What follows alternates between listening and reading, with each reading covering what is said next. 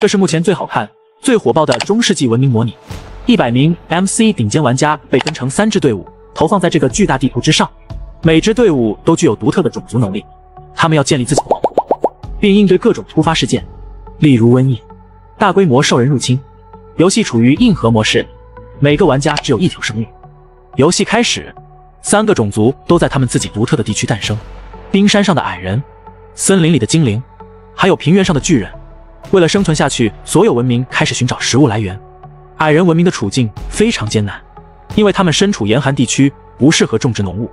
好在他们附近还有一些驯鹿，矮人文明把驯鹿当作交通工具。没过多久，他们就找到一个古老的矮人洞穴，在洞穴内有着一个地下农场和很多矿石。在收集材料的过程中，矮人文明发现了只属于他们的独特食物，他们能够吃铁和煤，而且搞的攻击比剑还高。挖矿自带幸运。另外，他们身高矮小，只有一格方块高。接下来是精灵文明，他们开局周围就有很多动物。精灵文明计划将这些动物作为前期的食物来源，但很快他们就意识到，他们拥有的能力只能吃素，可以增加弓箭的伤害，还可以使用魔法的能力。精灵们需要快速找到前期可以过渡的食物。在收集了一些基本工具后，他们开始探索这里。没过多久，他们发现了一个古老的精灵图书馆和一座瞭望塔，箱子里有着一些装备。附魔书和魔法棒，魔法棒可以快速催熟植物，利用这个精灵族解决了前期食物的问题。最后是巨人文明，在出生点不远处，他们找到了一片很大的麦田，看似他们获得了大量的食物，但他们的能力却只能吃肉，增加生命值和攻击伤害。身高三个方块，但不能游泳，只能吃肉，使得一大片麦田变得毫无用处。在谷仓里还有几只动物，他们开始繁殖动物。一些玩家开始探索这里。他们来到了一处贸易站，这里可以用小麦交易牛肉，为巨人文明提供了前期的食物来源。随着第一天的结束，各个文明都在采矿收集资源。矮人文明在矿洞充分发挥了身高矮小的好处，而巨人这边就没有那么好运。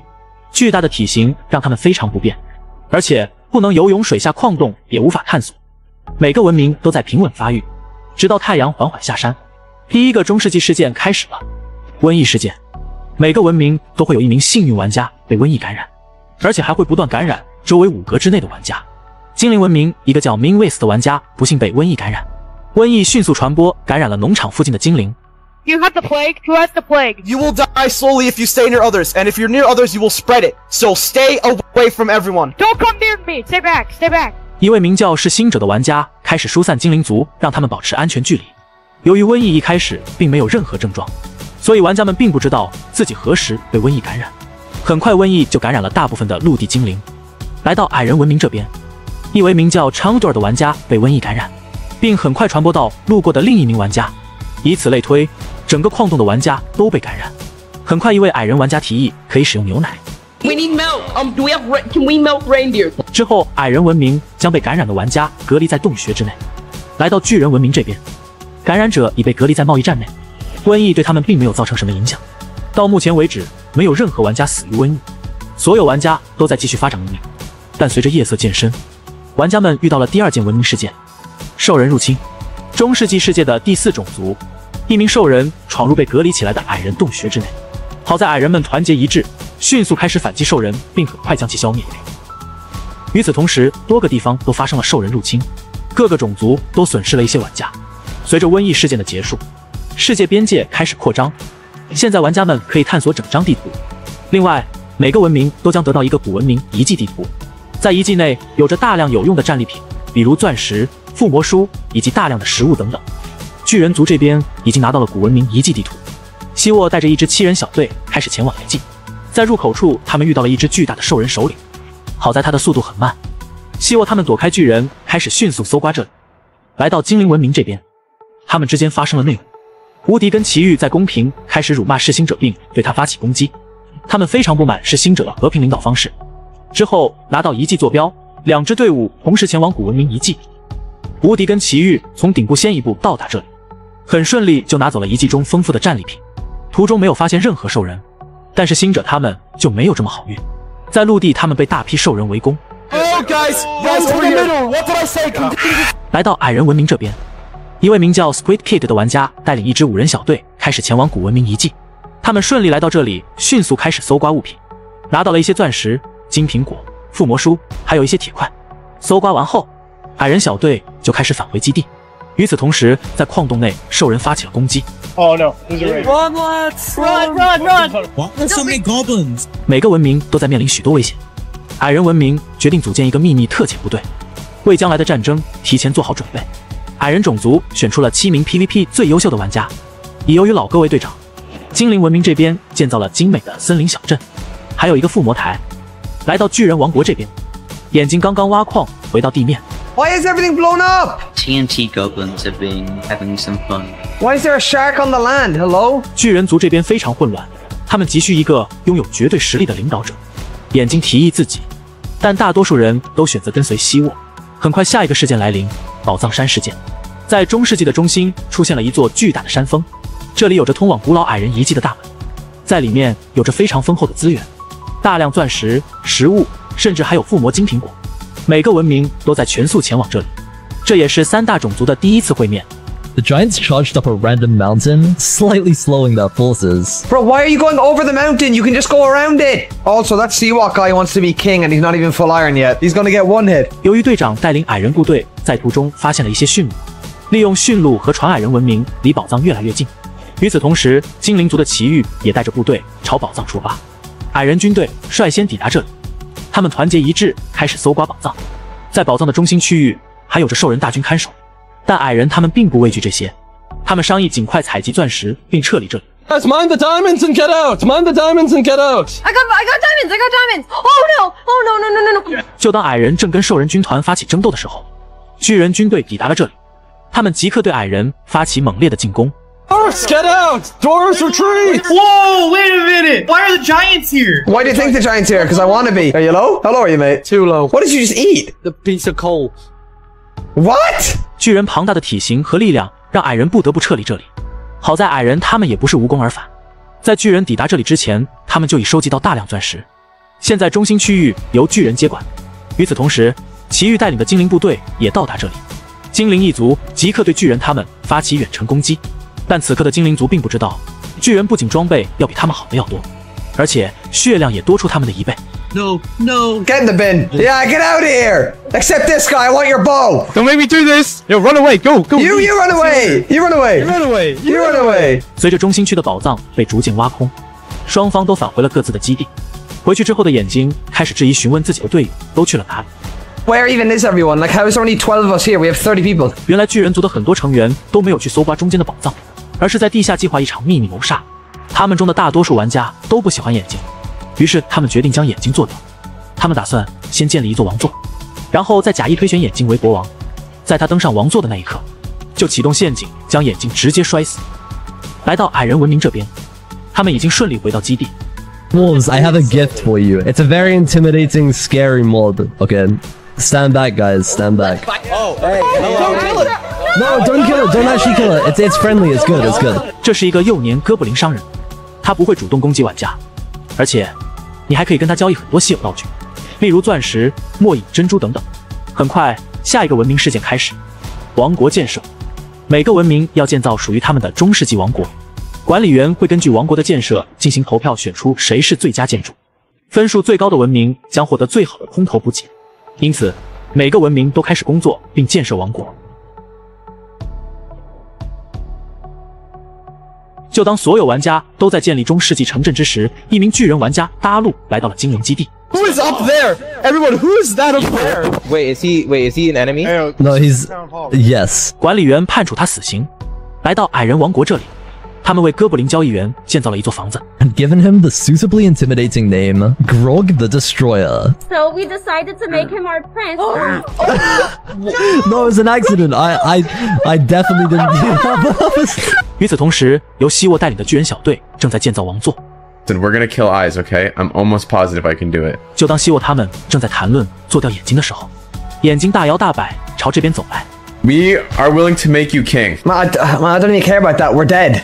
What do you mean we're dead? Bro, people are over there in leather and they're saying we need to build dirt. I don't care that I'm in leather. I agree. They're gonna all get two hit. That's why we need to rally around you. I mean, it's, it's no point rallying me. They're not listening. Like, I'm not gonna lie. I'm probably gonna defect, and you can figure it out. Wait, wait, wait! Eyes, eyes, eyes, eyes! Wait, don't we got made, me we're here. building you a throne. We built you a custom throne and everything. I don't want a throne. I don't Come on, care, we're gonna have a man. ceremony. It will unite the people. It's a lost cause. The people over there dribbling. This is a team of seven Look, this- people. this- Eyes, I'm sorry what- to tell you, it's a lost cause, and I'm dipping. Wait, wait, eyes, eyes! Before you go, No, don't care. 就这样刺杀眼睛的计划彻底落空。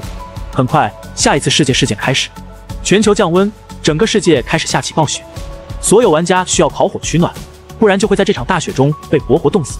矮人文明这边大家都在陆地，所有族人团结一致，在篝火旁唱歌取暖。期间，他们还顺手解决了兽人的袭击。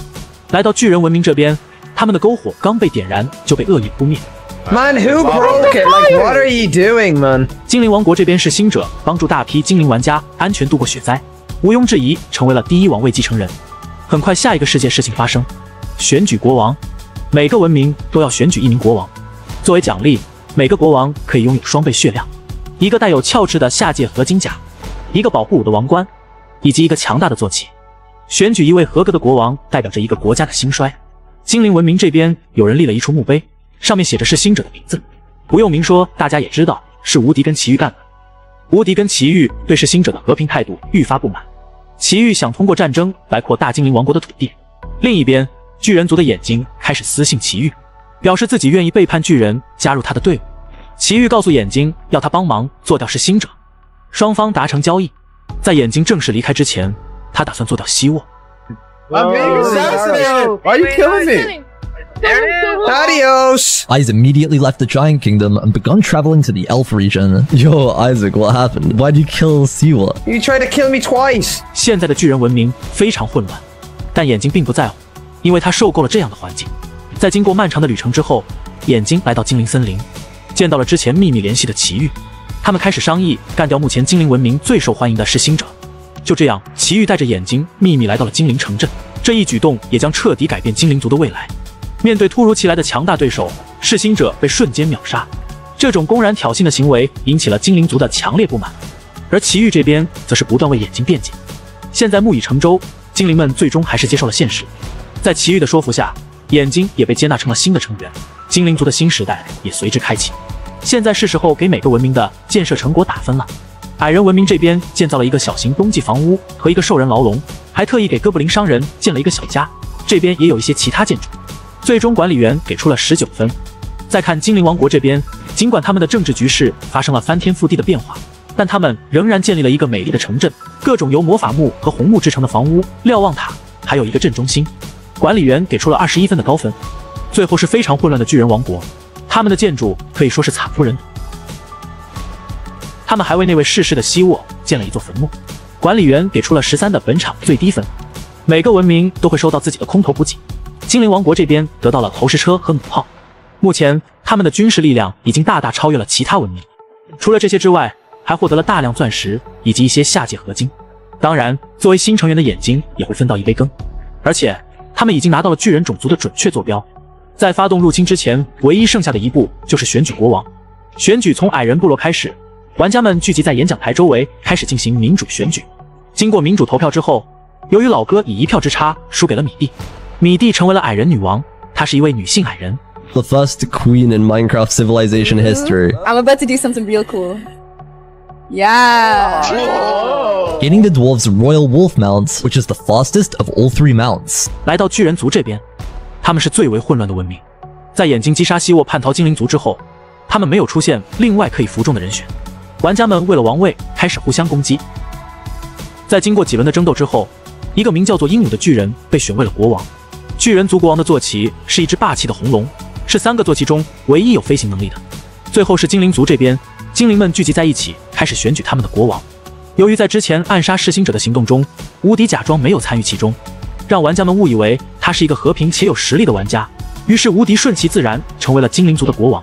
而他的坐骑是一只海阔鱼，可以在陆地和水面行走。精灵王还获得了极其强大的攻击法术，向目标释放一束光，造成巨大的爆炸，这比现有的魔法导弹更加强大。选举事件过后，精灵一族全体出动，朝巨人王国赶去。他们气势汹汹穿过森林，绕过大湖，终于来到巨人王国附近。此时，眼睛告诉精灵们，穿过前面的丛林就到达巨人基地了。精灵们重新集结后，开始向那片森林冲去。They're right here. They're right here. Use your spells first and abuse your bows. They got a dragon! No, there's people. There's people coming. 外围的巨人很快就发现了入侵的精灵，他们立即把消息传回了基地。但是近一半的巨人这时还在地下收集矿物。精灵大军气势汹汹冲进了王国的中心，并开始对这里的巨人发起攻击。寡不敌众的巨人只能纷纷四散而逃。巨人们惊慌失措，很快一名巨人就被精灵击杀，而剩下的巨人逃离到分散的平原之上。之后，无敌奇遇和眼睛把目标锁定在巨人王鹦鹉身上，他们把巨人王逼进了茂密的树林之中，这样还可以防止他坐着红龙飞走。在三人的围攻之下，巨人王很快就被精灵淘汰。此战精灵族大获全胜，巨人族失去了六名玩家，而精灵族却无一人阵亡。而且他们还捕获了巨人族的巨龙。来到矮人王国这里，他们注意到巨人此刻正被精灵屠杀，所以他们也当机立断，决定全军压境，断了精灵的后路。矮人族一路长途跋涉，开始前往巨人国。在穿过一片红树林后，矮人们发现了一群正在准备撤离的精灵战士。矮人没有丝毫犹豫，对精灵发动了进攻。猝不及防的精灵战士很快就被消灭。矮人一族的这次袭击非常有效，他们成功削减了精灵族的势力。而就在此刻，精灵他们在矿洞又与巨人他们发起了一场战争。这次的巨人决定背水一战，与精灵他们殊死一搏。最后在矿洞内，巨人被精灵尽数消灭，而精灵这边也损失惨重。战斗过后，精灵一族开始总结，虽然这次他们大胜一场，但矮人的数量已经超过了巨人和他们的总和。这时，精灵他们开始意识到事情非常严重，而眼下唯一的办法就是与剩余的巨人合作，一起共同消灭矮人。于是，精灵王奇遇骑着巨龙在空中飞行，寻找剩余的巨人。在世界的边缘处，精灵王找到了残存的巨人成员，他向巨人发出组建联盟的邀请，而残余的巨人们也不得不接受这个提议。于是，双方的联盟正式成立。就在这个时候，服务器的最后一个事件出现。下界合金宝箱事件在宝藏山的中央出现了一个顶级宝箱，里面有着大量的下界合金装备和附魔书。一旦有人拿到了这些战利品，那么他所在的军队就会势不可挡。合金装备的消息一出，所有玩家开始飞奔过去。虽然此时矮人他们离得较近，但双方几乎同时到达这里。矮人女王带领着军队到达了宝藏大厅，而精灵王此刻却骑着巨龙降落在宝箱一旁，他大摇大摆地拿走了所有的战利品。矮人女王没有丝毫犹豫，让大军在分享装备之前对他们发动攻击。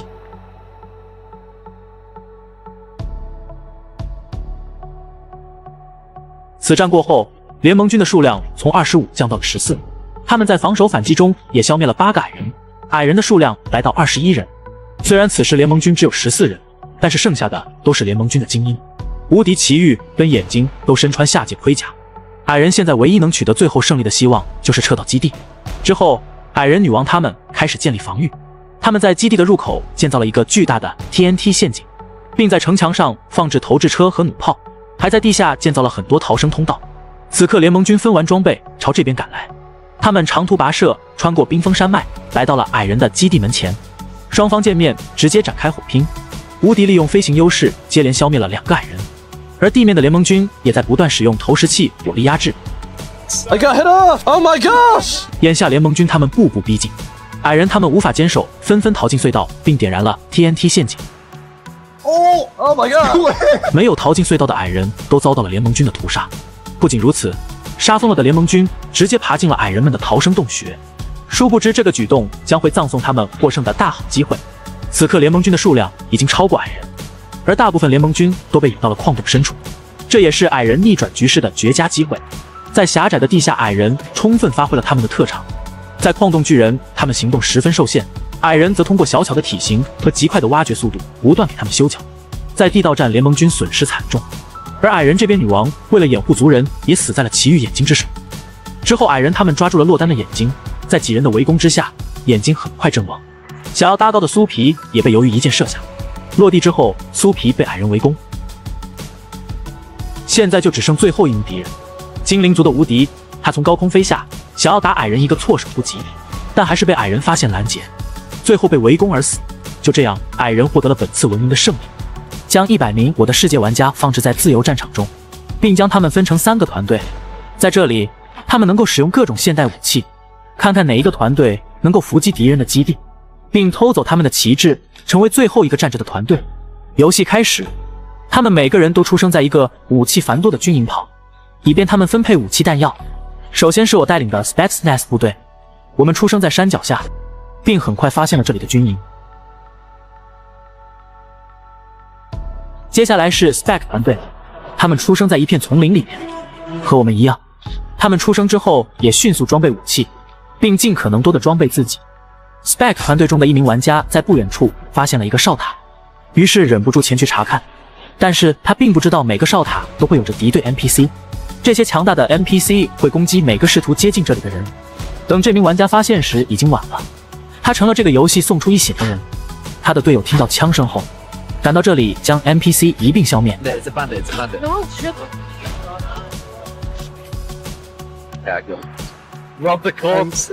在之后，他们在这里找到了 M4A1 和大量弹药。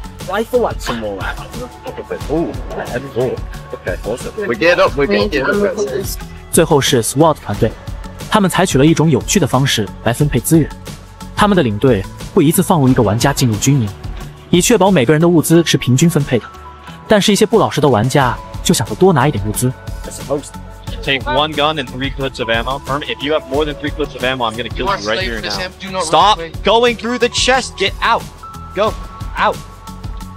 这样的分配方式比较浪费时间，这给其他团队带来了优势，因为他们可以利用这些时间来收集其他资源，并建立农场来养活自己的团队。我所在的团队的一部分人开始进入地下，收集原石，这样我们就可以在军营周围筑起一堵墙，这是安营扎寨必不可少的一步。换到 Spec 团队，他们攻下哨塔之后，决定在这附近建立永久基地。这两支队伍开始建立他们的基地。SWAT 团队进度则远远落后，他们还在慢悠悠地分配盔甲和武器。大约二十分钟之后，我所在的 Spetsnaz 团队就完成了一个小型农场，并筑起了基地的围墙。之后，我们决定进一步扩大视野范围。我们先派出小队去周围排查建筑，甚至是敌军营地。我们开始离开基地，探索附近的沙漠。We've got a few people here. I think this should be enough. Not, ev- not everybody needs to come out. We're not launching them. We're not allowed out. 就在这时，先行小队告诉我们，他们在沙漠对面发现了一所巨大的建筑。听到这里，我们立马赶去他所说的建筑。enchantment table. Oh, where are you? I'm in some skyscrapers and I have like almost 45. 但当我们到达大楼时，出现了一些意外情况。 Oh, I think I see the skyscraper that you guys are talking about. Let's see. Here, there, there, for a second. Wait, I see someone. I see someone. gas. See someone? Oh, oh. Someone just died. Someone just died in chat. I'm pretty sure we heard 一名 Spec 的玩家由于没有防备，被这里的 NPC 守卫打死。 看来这里可能并不只有我们队员，所以从现在开始我们必须万事小心。回到 SWAT 团队，他们竟然还没有分配完物资，所以他们一边嘲笑其他玩家被 NPC 打死，一边还不知道自己已经落后了多少。One died to a bandit already. 现在的 s p e c s n a s 和 Spec 团队基本上已经完成了基地的建设。回到大楼这边，我们确定没有危险之后，成功跟拿到附魔台的两名队员会面。之后，我们发现这个大楼还没被别人搜过，所以我们继续组队搜查这个建筑。我们一层层搜索，在这里找到了不少弹药，还找到了之前被 NPC 干掉的 Spec 团队队员的尸体。我们带走了他身上的物资以示尊敬。之后，我们继续搜查这个建筑，期间又遭遇了 NPC 守卫的攻击。Oh, him. Where? Oh, get get down. Get down. Get down. Spec 团队这边已经完成了基地的建设，之后他们也是一样派出一支小队去探索周围情况。他们的队员告诉他的团队，他死在一所大楼里。当然，他所说的就是我所在的大楼，因为我们并不知道已经有敌人正在向我们靠近，所以我们还在尽可能多的搜集物资。成功到达楼顶期间，我们并没有因为 NPC 的攻击减员。在楼顶，我们看到了 MC 的山川美景。Why am I tempted to try and make a jump in that water? Yeah, I don't know why, but it's so tempting to just jump off. 我们并没有跳下去，而是老老实实走梯子下去了。画面来到 SWAT 团队，他们终于分配完了物资。他们的队长 Soccer 独自出门探险，并发现一所巨大的建筑，似乎是一个工厂。靠近之后才发现，这地方并不是那么简单。这里有工厂、兵营和巨大的地下金库，这里布满了 NPC 士兵和守卫。随时准备杀死来这里试图偷资源的人。但是 Soccer 作为队长也不是盖的，凭借自己的枪法很快清除了所有威胁。但是在这之后却出现了意外。 Oh, his teammate. Oh shit, there's a guy here. Someone else found this camp with me. Kill them. Yeah, I'm gonna try. Oh, guys. 他朝里面的玩家开枪，那个玩家当场身亡。殊不知，他杀死的那个玩家是自己的队员。 Was on his own team. Oh, that guy's on our team. He's not in the voice chat. I am in the voice chat. Oh my Oh. god. Why you killing me? Why didn't you say anything? I didn't know you were there. 现在 Soccer 在他的队员们看来并不是一位沉稳的领导者，于是 Soccer 开始给自己镀金，防止被篡位。 Man, that poor guy got killed. I'm sorry. Yeah, you absolutely pummeled him into the ground. I didn't mean to. I, did, I thought he 很 was 明 an 显，他们 enemy. 并不在乎 I 自己 don't 队友的 blame 死 you. I would have done the exact same. 之后，他继续在这里搜刮物资， Richard cleared. 但这时候 NPC 守卫越来越多，他没有必要冒险了。 于是他决定离开这里，回到大部队，回到我们这边。我们搜集完物资，回到地面。我们在最合适的时间离开了那里，因为我们前脚刚走，Stack 的小队后脚就到达了这里。我们不仅避免了交锋，还带走了大量战利品。我们走之后，Stack 小队进入建筑搜查，但除了一具同伴的遗体，他们什么也没找。我们在大楼搜刮完物资之后，回到基地。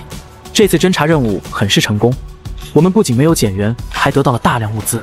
我和基地里的队员分享装备，而他们则帮我们种植了大量的食物资源。回到世界的另一边，SWAT 团队终于有了一些进展。他们在一座山上建立了自己的基地，可以居高临下俯瞰周边地区。看起来他们真的很想赢得这次的比赛。三支队伍的旗子都插在各自基地的中央。别忘了规则，第一个拿到三面旗子或者团灭所有敌人的队伍就是胜者。现在游戏正式开始，我所在的 Spetsnaz 有信心拿下比赛的胜利。我们立马开始行动，先组成了一支十五人小队，去探测敌人基地位置，剩下的人留在基地保护队旗。当我们离开基地穿过沙漠的过程中，被一个沙漠中的 Spec 队员发现了。我们真不知道这家伙具体在哪，也不知道到底有多少人还在附近。我们变得非常紧张，于是我们决定快速穿越沙漠，探索敌军位置。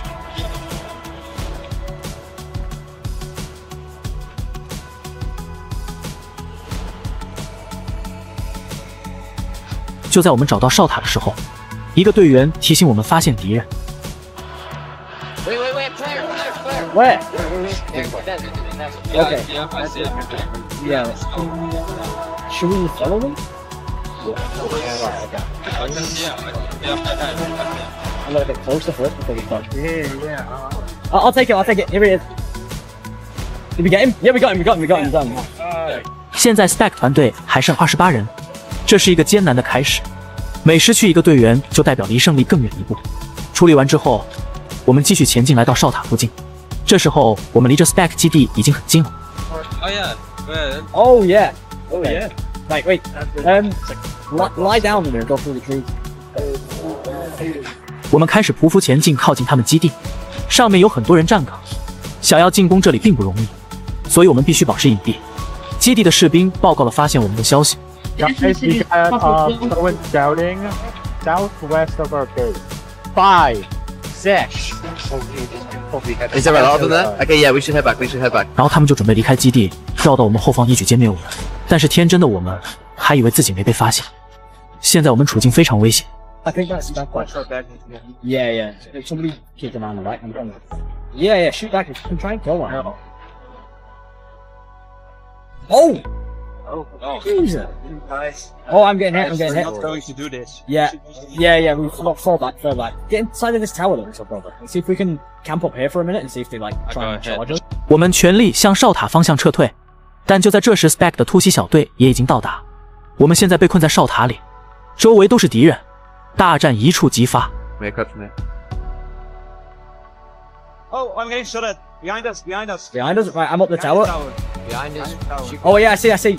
Oh, it's framed. It's the rest of the team. It's the rest of their team. One person go down, one person go down. There's, there's like three people down there. I'll be down. I'm getting shot, guys. Get in the tower if you can. Oh, I No. Oh, really hard. He Yeah, there he is. I see him. Oh, they've, they've all run. It's up special box. It's I'm gonna die. I'm gonna die. I think I got one. I got yeah, I got one. I got lazy. I got lazy. Right, guys, I'm getting surrounded by everyone here. 一场激战过后，我们歼灭了试图从侧翼攻击我们的敌人，但是情况不容乐观。如果我们一直在这，，Spec 一方肯定会不断派遣士兵攻击我们。这里距离他们基地只有不到一百格，这对我们非常不利。于是我们立即撤退。之后，我们成功回到基地，还为牺牲的队员举行了简短的葬礼。回到 Spot 这边，他们虽然起步缓慢，但一直在试图努力赶上进度。最终，他们经过不断挖掘和规划之后，成功步入正轨。现在进入下一阶段，入侵阶段。系统会在每个团队的基地周围投放大量 NPC 守卫，这意味着只要有人想离开他们基地，必须先解决掉他们基地外面的 NPC。对于 SWAT 团队来说，这是一场悲剧。由于没有见到过 NPC，他们并不知道这些 NPC 的强大。一些队员离开基地试图拿下 NPC，结果被 NPC 拿下了。Outside. Don't go out there. Don't go out there. Don't go out there. Are you guys at the gym? Oh my gosh, I'm at one heart. You guys, don't go out there. I said don't go out there. Why did you all go out there? I got. You guys. SWAT 团队现在仅剩二十四名队员，这无疑是一个巨大的打击。同时，Spec 团队这边也遭受了 NPC 攻击。幸运的是，Spec 团队处理迅速，仅仅牺牲了一名队员就清除了威胁。 最后是我所在的 Spetsnaz 团队。 The Jews are burning down now. Oh, who's shooting? Who's shooting? The bandits, I'm dead. No. 幸运的是，这是我们团队唯一的伤亡。我们团队一名成员为了安全起见，绕到他们后方将 NPC 悉数歼灭。 Oh, there's lots of bandits here. Yeah, I'm trying to kill him. There's quite a few bandits down there, buddy. Like, they're dead, I think. 然后我们再次为牺牲的队员举行了葬礼。再次回到 SWAT 这边， 由于伤亡惨重，他们终于意识到自己落后了多少，于是他们立马着手修缮基地，搜刮物资。搞笑的是，他们也同样找到了我们之前去过的大楼。当然，现在那里面什么也没有。Bruh, what is that? It's a city. All right, boy. 但是当他们到达那里之后，我们的一个队员天使在外出放哨的时候路过那里，被 SWAT 团队队员围追堵截。Kill him. Incredible. Kill it. Kill him. Chase him down. What? Where? What? Why are you there? 我们想去接应，但是为时已晚。 Yeah, me too. Me too. Got him. Yeah, he's super hurt. Where the? Oh, down. Dude, he had so much stuff. Take this. Take this. Take this. There's blocks of Wait, gunpowder wait, I here. need. I Take need his gun. this. Take his gun. 但是我们没有放弃复仇，我们召集了一队士兵，没有任何犹豫，立即离开基地向大楼进发。 但是 SWAT 那边好像早就料到我们会来，早就在大楼周围做好了埋伏。我们当时并不知道，看来一场战争在所难免。 That's all. Yeah, yeah. Right, watch out. Yeah, be careful. For the... There's a darker armor. Yeah, yeah, I see them. Right, shoot if you can. Take, take some shots. I'm being hit, being hit, being, Being hit. hit. Being hit. Careful. Careful. Their team is here. run, run, run. Oh, invaded, dead, you one got dead, one, you one got dead. one, nice. Send an RPG. 在一阵紧张激烈的枪战过后，我们几乎击杀了 SWAT 所有的埋伏的士兵，剩下的残兵在丛林里慌忙逃窜，最后还是有两个 SWAT 士兵逃走了。在我们回击地补状态的时候，系统开始播放广播，提醒整个服务器要开始投放空投补给。我们现在离基地很远，这对我们来说是一个很好的机会。我们快速往空投位置赶去。幸运的是，我们到达空投位置的时候，还没有别的团队过来。在空投里，我们得到了不少武器和食物。此时，我们想出了一个邪恶的计划。我们拿走空投之后，并没有急于回家，而是在这个地方埋伏，等别的队伍过来舔空投时，我们杀他个措手不及。经过一段时间的等待，我们捉到了一名 Spec 团队的士兵，然后毫不犹豫将他击杀。在这之后，我们决定立即返回基地，因为这名士兵肯定会跟总部汇报这里的情况。那样的话，这里就非常危险了。果然，Spec 团队全员出动，但是他们竟然没有留人马去看守旗帜，这是一个非常错误的决定。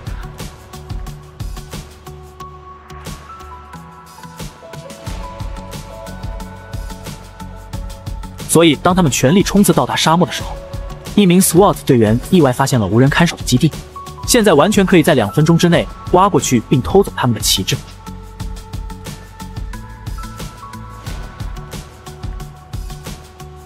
旗帜被拿走，他也不是唯一一个光顾 Spec 基地的人。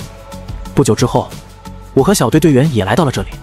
我们很奇怪，光明正大来到城墙之前，竟然没人射击防守，直到我们发现旗帜没有了，我们才知道我们来晚了。但是这里一切安静，没有枪声，没有战争，但这都是暴风雨前的宁静。我突然意识到，Spec 全员出动肯定是对某一方动了杀心，很有可能就是我们。我们迅速赶路返回基地，但是我绝对没有想到，这是我最后一次行动了。我们追上了 Spec 团队，但就当我准备用手雷给他们爽下时，意外发生了。不知怎么了，这颗手雷刚拉开引线就爆炸了，因为我的失误，还带走了四名队友。说实话，这真的是太愚蠢了。剩下三名队友情况也并不乐观。Spec 团队听到爆炸声之后，迅速向我们这边赶来。他们看到尸体之后，断定我们的基地就在附近。事实也是如此，只要再翻过一座小山，就会到达我们的总部。但他并不是唯一一个来找我们麻烦的队伍。SWAT 团队随后也来到了这里。现在的 SWAT 拥有两面旗帜，只要再拿到我们 Spetsnaz 队的他们就取得比赛的胜利。现在我所在的 Spetsnaz 被两大势力包围了，Spec 团队开始缓慢推进，试图包围 Spetsnaz 的基地并拿走旗帜，但是他们还不知道自己的旗子早就没了。在强攻没有结果后，他们开始改变策略，他们利用森林掩护围绕基地旋转，试图找到基地的薄弱部位。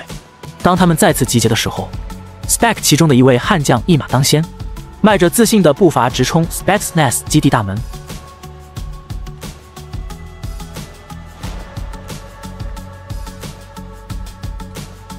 在击杀一名玩家之后，又完好无损的撤了出去。队友反应过来之后，想要击杀悍将，却又被无情反杀。这说明有时候自信也是一种武器。现在的 Spetsnaz 不敢懈怠，他们全神贯注的防御基地的每个方向。这时候，我们的狙击高手就发挥了巨大作用。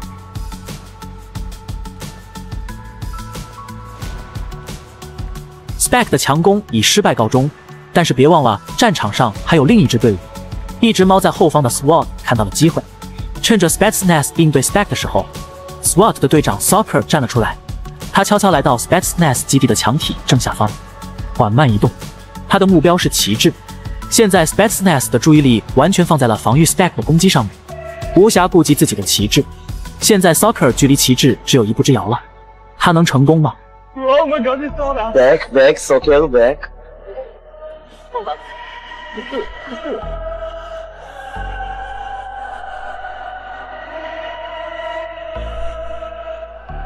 Run, run, run! We just gotta get back to this. I got it. We just gotta get back. 鹬蚌相争，渔翁得利。就这样，Soccer 神奇般的拿到了 Spetsnaz 队伍的旗帜，而剩下没有旗帜的两方还在激烈战斗。终于，Spetsnaz 士兵歼灭了 Spec 的队伍，基地终于安静下来。就在 Spetsnaz 队员认为他们成功抵御外敌的时候，突然发现自己的旗帜已经没有了，但已经太晚了。SWAT 队长 Soccer 早就拿着旗帜飞奔回自己的基地，毫无疑问。SWAT 团队取得了游戏的胜利。